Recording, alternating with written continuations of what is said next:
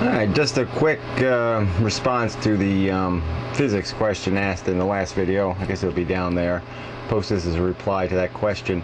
Uh, but simple question, you know, how do these space probes, you know, accelerate, get more energy leaving a planet than when they arrived at a planet? Like, how do we use that to um, accelerate the probes we send into space and all that kind of stuff?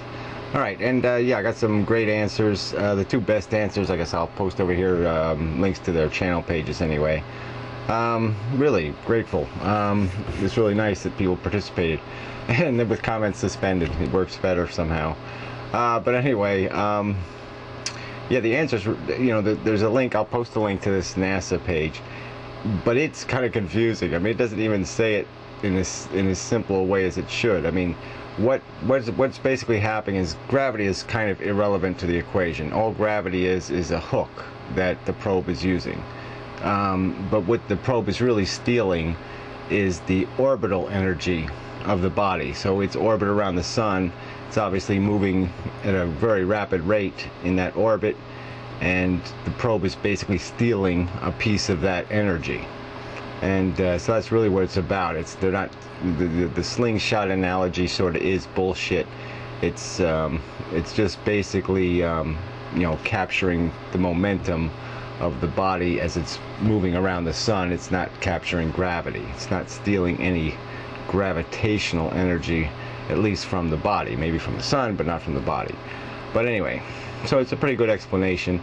Um, I still have some thought in my head that the the thing they did with the moon it doesn't really make sense because the moon isn't really moving that fast. I mean, it orbits only once a year, and you're saying, but I mean, once a year at the distance it is from the, you know, Earth is probably fast enough to gain some energy, and um, then also the return trip from the moon, you would be enjoying the gravitational pull of the Earth, which would also accelerate you. So that's why the trip home is shorter than the trip to the moon.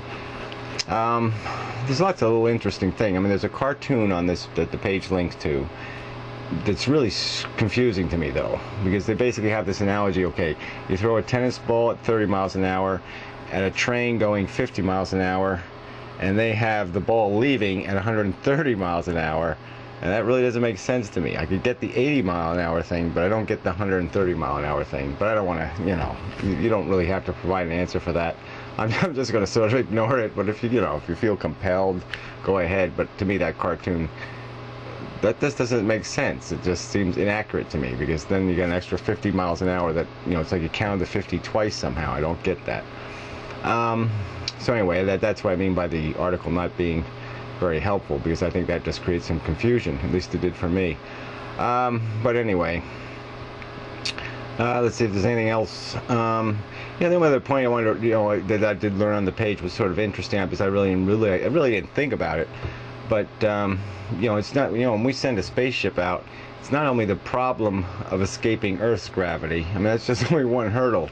Um, because when you try to go out into space, the problem is you got this sun is is really a problem because apparently you know you can only get so far out, um, and then you end up just you know, unless you've got plenty of fuel, you know, your your momentum is slowly you're you're you lose acceleration as you go out into space because the sun keeps trying to pull you back, and so um, you know, there's a point you'll reach you just end up being a satellite around the sun because you'll just stop moving forward away.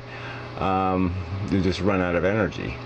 Um, so I thought that was sort of interesting. And so the whole thing of this you know, looking at these outer planets was really dependent on this whole idea of stealing the orbital energy of these other planets. And if we didn't do that, you know, as a practical matter, we wouldn't have been able to get those probes out there because we wouldn't have been able to put enough fuel on them to, uh, you know, give them enough escape of velocity to escape the sun's gravity. Um, but anyway, interesting stuff for me anyway. Um, you know, I like sort of thinking about things without reading. You know, I mean, I guess I could have just done the research and left it at that. But it was just sort of interesting to get different ideas in, in an environment where people weren't just reading stuff. But you know, eventually you have to read stuff and get the right answer from a somebody knows the answer. But sometimes it's good to think outside of the box, so to speak, to steal a cliche. And um, so anyway, it was. It was a rewarding experience. I am um. Thank you very much.